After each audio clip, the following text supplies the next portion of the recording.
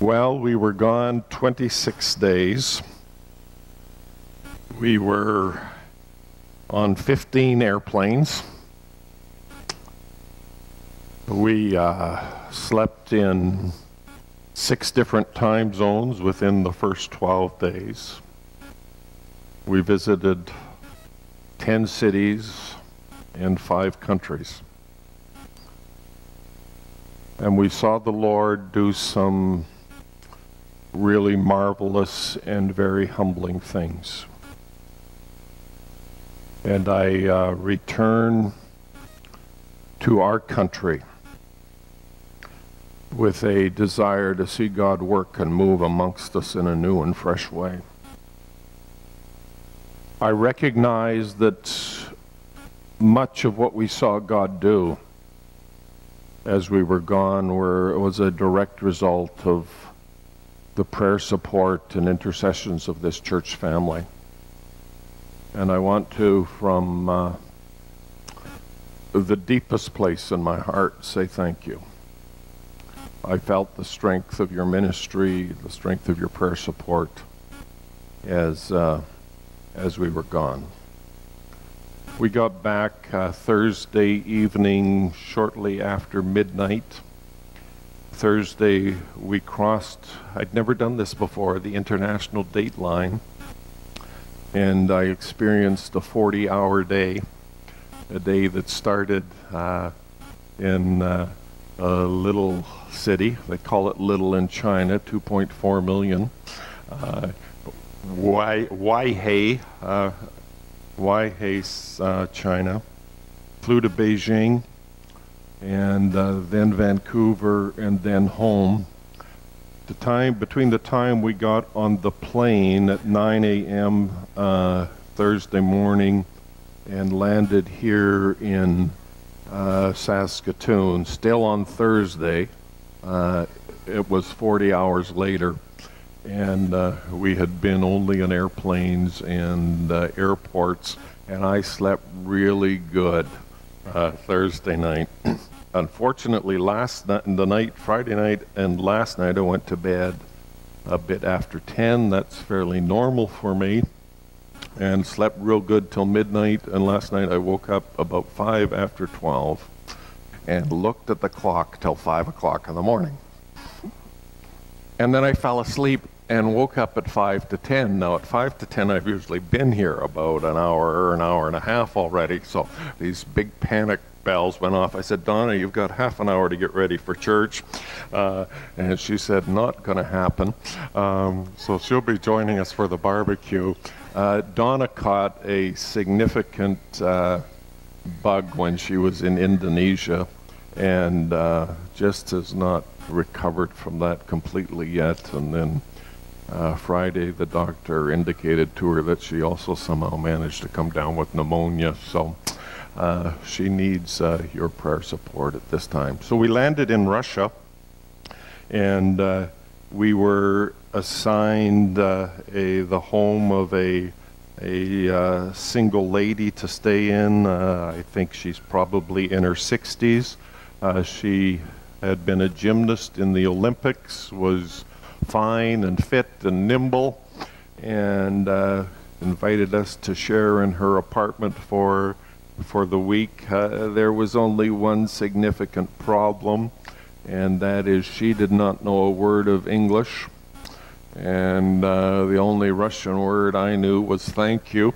Um, and uh, Donna didn't even have that one down that well. But I discovered in those three days my preaching style because I just saw her and Donna communicating over and over again. And so this is how I preach. You need to understand it. Uh, if I say something and I don't think you're getting it, I repeat myself. So, poco, poco, poco. Poco, poco, poco, poco. Poco, poco, poco. And all I do is I just keep repeating myself, but I get louder every time. That's what I do. Poco, poco, poco, poco.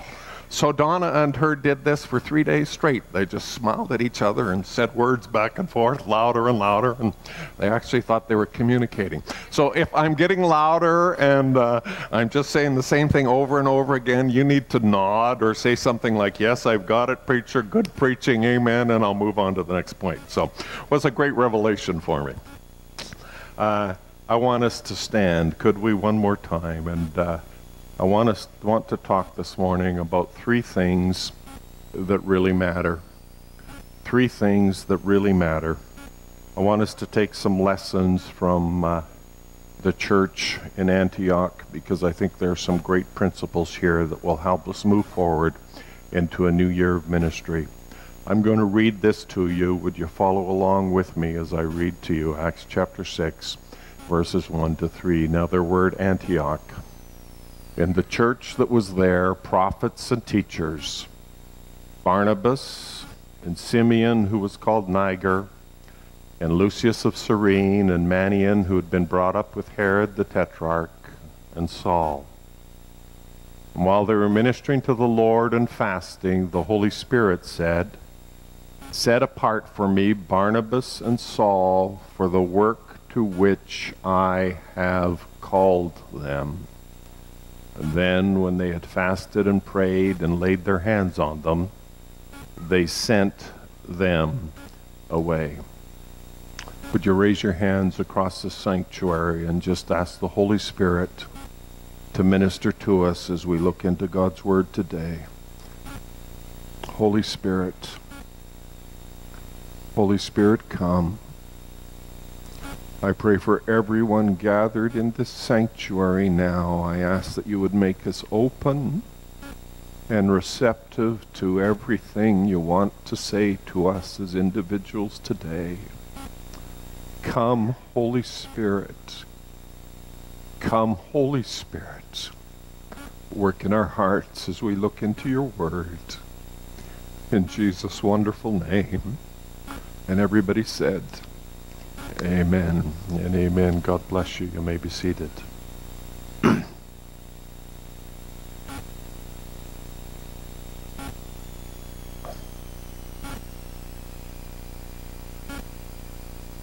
Been pondering this portion for the last month and uh, just allowing the Holy Spirit to, to speak to me. It's the story here of. Uh, the church at Antioch gathering and having a prayer meeting. And the first thing I noticed is that, and, and I don't think anything happens by accident in Scripture.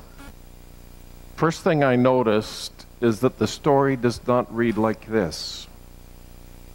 There were at Antioch in the church there prophets and teachers while they were ministering to the Lord and fasting, the Holy Spirit said. That's not what it says. It says there was at Antioch, in the church that was there, prophets and teachers. And then it takes the time to individually list them by name. The first thing I want us to understand this morning in church ministry is that people really matter. In the kingdom of God, people really matter.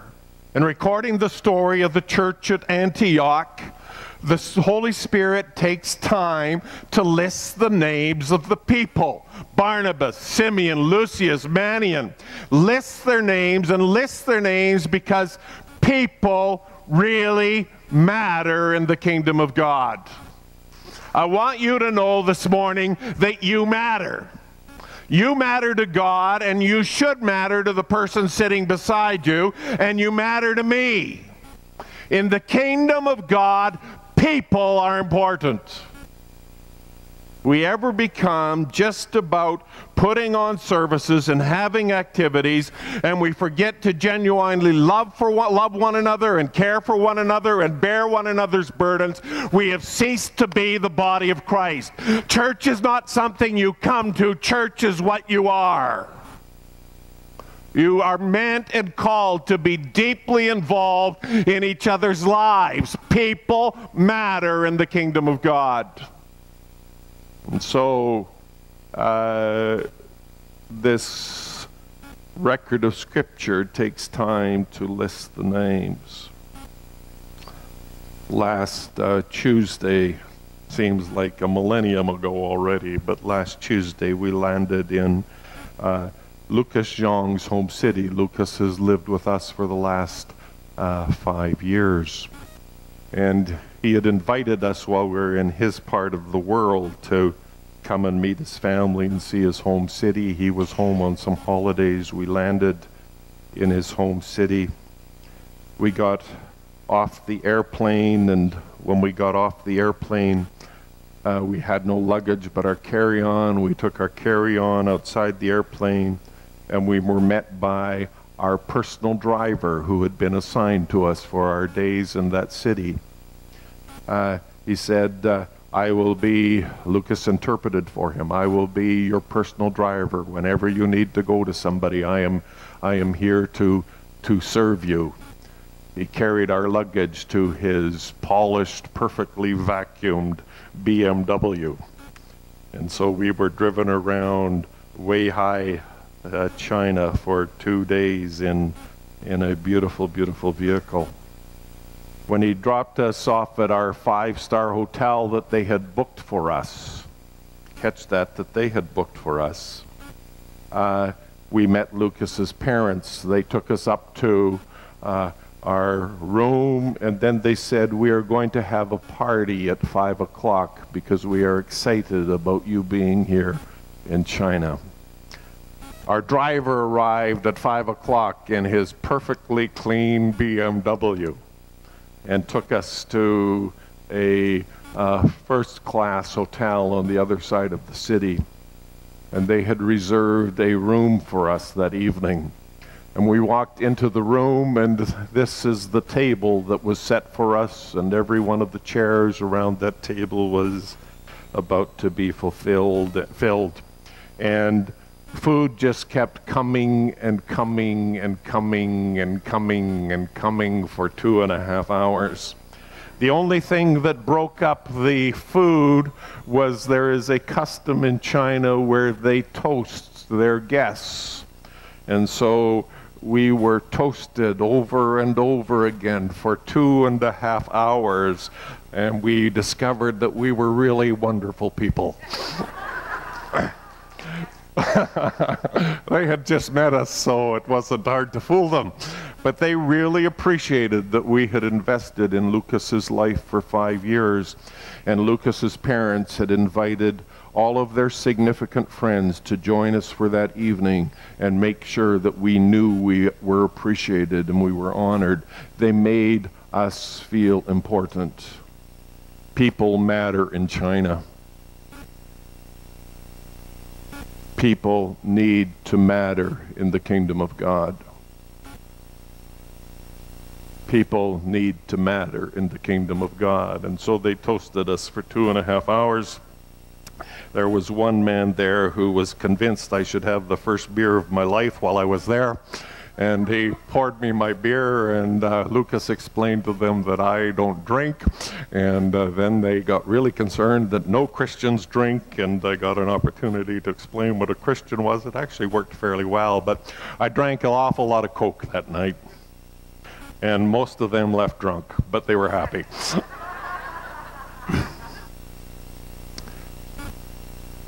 landed in Indonesia, and uh, we were told on Saturday night that we were going to a youth rally. When I heard youth rally, I, I heard uh, in my mind 60 kids, maybe 80 kids. If it was really, I thought we have 150 kids. I pulled up. Uh, we were in a in a in a bus uh, with some other Pentecostal Assemblies of Canada preachers. Pulled up to the church that Saturday night, and there were at least just lined up like this, at least 300 motorcycles on the parking lot, and I knew that we weren't coming to just 60 kids youth rally. And uh, there were, I would say, between 1,000 and 1,200 teenagers at that youth rally. But I, I say this to say this, and then I'll say something else. Uh, when I when I arrived at uh, that church service, before I could get into the sanctuary, I had at least 100 teenagers shake my hand and welcome me to, welcome me to that. Sir, I'm talking about teenagers shaking my hand and welcoming me to the service. They understood in Indonesia that people matter in the kingdom of God. In the kingdom of God, people matter. it was neat. And I'm going to talk about this trip in, in detail next weekend, but it was neat to see about a hundred kids come forward at the end of that service and accept Jesus Christ as their Savior. Many of them were baptized the next evening. People matter in the kingdom of God. You matter in the kingdom of God our guests to our services every weekend matter in this church. We need to make them feel honored. We need to make sure we're going out of our way to make them feel important, going out of our way to get to know them. People matter in the kingdom of God. That's why we have life groups, because people matter in the kingdom of God. Church is not something we just come to once on the weekend. Church drives us. Church, being part of the kingdom of God, motivates us. We're deeply concerned about making a difference in people's lives. People matter in the kingdom of God. Second thing I noticed in this story is that uh, they were ministering to the Lord. When I got on the plane leaving uh, China on Thursday morning, I was slightly embarrassed because I'm sitting in a window seat and uh, I've done enough flying now that Air Canada actually gives me good seats for some reason. I'm grateful. Had an exit aisle, had lots of room for my feet, but I'm sitting there and uh, tears start rolling down my cheeks as I realize I have seen a church for the last four weeks that is so passionate about Jesus and tears are rolling down my cheeks, and I say, Oh God, would you give us that kind of passion for you in our land? Would you make us passionate about you and your work once again? You see, I fear that. Uh, we've lost some, sight of something as a church. And I'm not talking about us, but I am talking about us, but I'm talking about us. You need interpretation for that, somebody can help you. I fear that we have become satisfied within the church context in North America of ministering to each other making sure everybody's fine, encouraging one another, caring for one another, uh, lending, helping, borrowing, whatever is needed for, as situations come up, forgiving one another, being kind to one another. We, we minister to each other. And God help the church and God help the preacher who when you leave a service on Saturday night or Sunday morning, if you don't leave and you feel like you've been ministered to, because I'm not going back there, they don't minister to me. We expect to be ministered to, and we want to minister to each other. But I think we've lost sight of probably what is our highest calling. That is the kingdom of God is identified and marked as a group of people who minister to the Lord.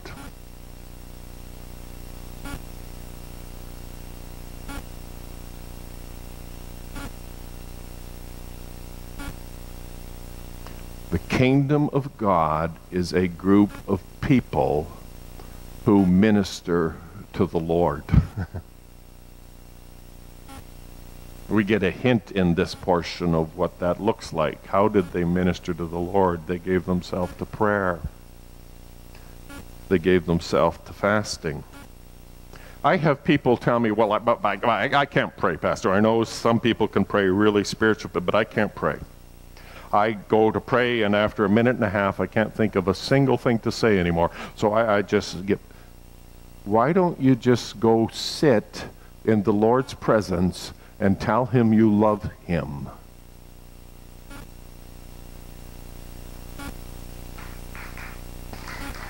Minister to Him. That is our highest calling. I don't like fasting. Well, fasting's not about you. Fasting is ministering to the Lord. One of the things I saw consistently in Europe and in Asia is when the song leader would end uh, I, I, know what happens in North America. The song leader finishes a song, and everybody looks at the song leader and says, well, why don't you get going? What's, get going with the next song. In Europe and Asia, what I consistently saw was when the song ended, worship broke out in the house of God. Worship broke out. And I'll show you some clips next weekend, Lord willing. But they would just, out of their heart, something deep inside of them would, they, their hands would be raised and their hearts would be raised in worship and adoration. They got something. They understood, and I fear we've lost it in North America. They understood that we were a people who are designed, meant to be ministering to the Lord.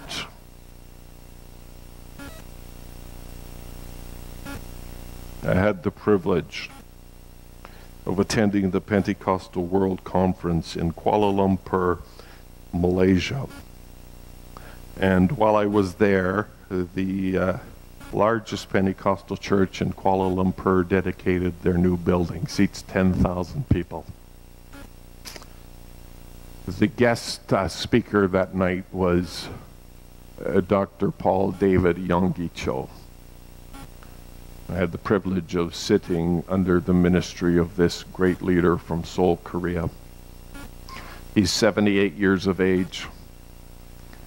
He is retired as the pastor of the church he started in the 50s, that is now the uh, biggest church in the world. I lost track of how many members they have when they got to a million. He's taking this time off when he came to Kuala Lumpur to speak, he said, I'm taking a few months off here. I'm retired to figure out what the Lord wants me to do. I think he wants me to start another church.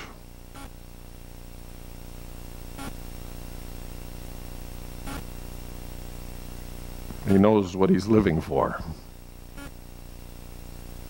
He said when he, uh, after he was miraculously healed, uh, after be, having been given a Bi- Bible and beginning to read it after he was miraculously healed in the 1950s from uh, serious uh, last stage tuberculosis.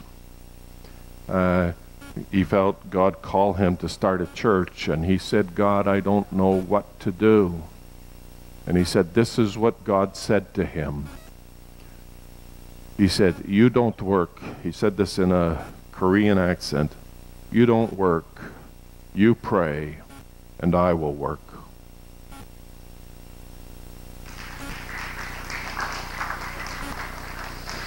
You don't work, you pray, and I will. You don't work, you pray, and I will work. An understanding that the Christian life and the Christian walk is one of ministering to the Lord. Kingdom of God, people matter.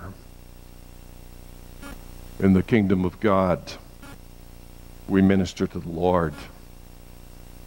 And then uh, the last uh, thing I saw in this portion is this was a church on mission. Notice what they were gathering to pray for. They were gathering to pray to send Barnabas and Saul away to do ministry. Was a church on mission. And the kingdom of God is meant to be made up of people who are on mission. There's a world that needs Christ.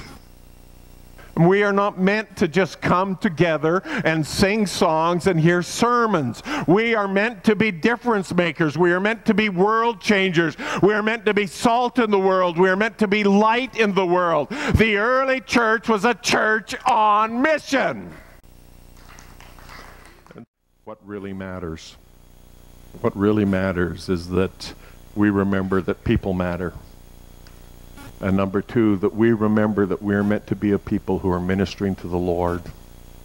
We need to minister to Him. And uh, lastly, we need to, as a church, be a church on mission. I uh, have wanted for a number of months to watch the movie 42, which is the story of Jackie Robinson. When I got on the plane to go to Moscow, on uh, August 11th, I think it was, I saw that it was one of the options of movies I could watch on the overseas flight to Moscow. And I said, I'm going to do that, but I fell asleep and uh, totally missed it. Uh, so on the way back from China on Thursday, uh, it was still an option, and, and I listened to the story of, of Jackie Robinson. 1946 there were 400 professional ball players in the United States. Every single one of them was a white Caucasian. And a guy by the name of Branch Rickey decided that enough was enough and it was time to break the color barrier. He decided that uh, he was going to uh, invite Jackie Robinson to come and play for the Brooklyn Dodgers. He understood there would be an uproar. I don't think he understood or expected it to be as big an uproar as it turned out to be. They were well into the season. Uh, there was discord throughout the whole league because there was now a black person playing baseball. One day, Branch Rickey's phone rang, who was a, an executive officer with the Brooklyn Dodgers, and on the other line was a man named Herb from the Philadelphia Phillies. Excuse the language here but it was the language of the time. Thank God we're in different times now. But Herb on the other end uh, talked to Branch and said, How long have you known me, Branch? Branch said, I've known you for 20 years. He said, Well, then, as a friend, I need you to do me a favor. I want you to make sure that Negro doesn't come and play baseball in Philadelphia tomorrow. And uh, Branch Rickey replied, That man's name is Jackie Robinson that man's name is Jackie Robinson's name. People's names matter. People matter in the kingdom of God. He says, Well, I know he's got a name, but I want you to know that if that Negro comes and plays ball tomorrow, my team will not be in the stadium. We are not going to show up if you bring him. And uh, the discussion goes back and forth, and finally, Branch Rickey asks Herb on the other end, he says, does God love baseball? Does God love baseball? Important theological discussion for our Bible college to grapple with this year. I leave that up to our academic dean to figure it out. And Herb said, uh, What's that got to do with anything? And uh, Branch Rickey, who was a Methodist, said this to Herb on the other end. He said, You need to remember that one of these days you're going to stand before the Creator God. And I hope when the Creator God asks you why you didn't put your ball team on the field in Philadelphia tomorrow, that you'll be able, when you say to Him that you refused to put your team on there because there was a Negro who was going to play, that you think that'll be a sufficient answer. I guarantee you it will not be a sufficient answer change the ball, change the face of athletics, change the face of North America.